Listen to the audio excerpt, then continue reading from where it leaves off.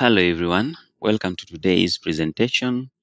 In this video, we'll talk about electricity and in particular power consumption and costing.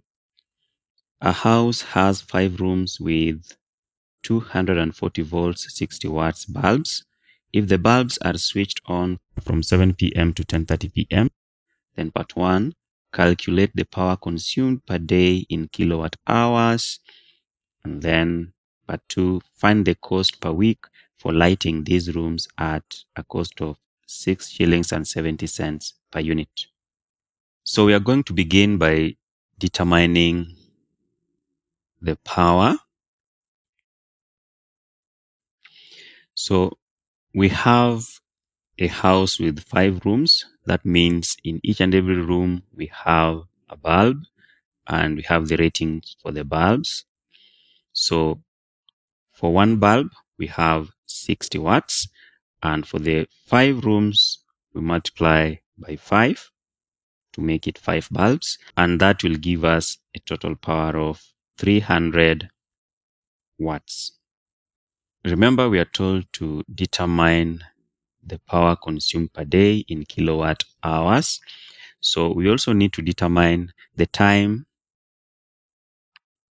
the time taken uh, for the bulbs to light in a day. Remember, the bulbs are switched on from 7 p.m. to 10:30 p.m.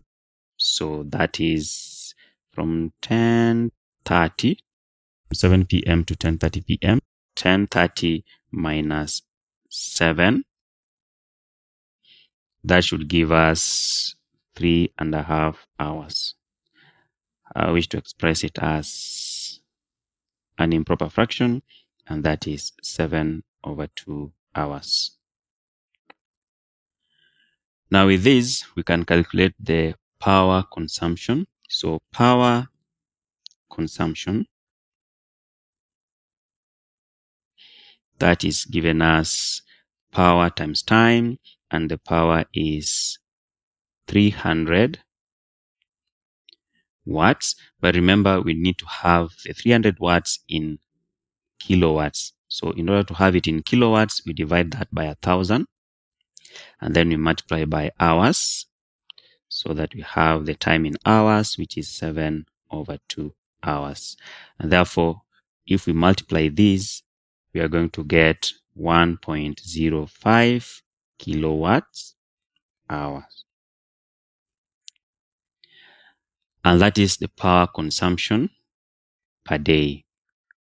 Now for the next part, we are required to find the cost per week for lighting these rooms at 6 shillings and 70 cents per unit. Now we are told that one unit,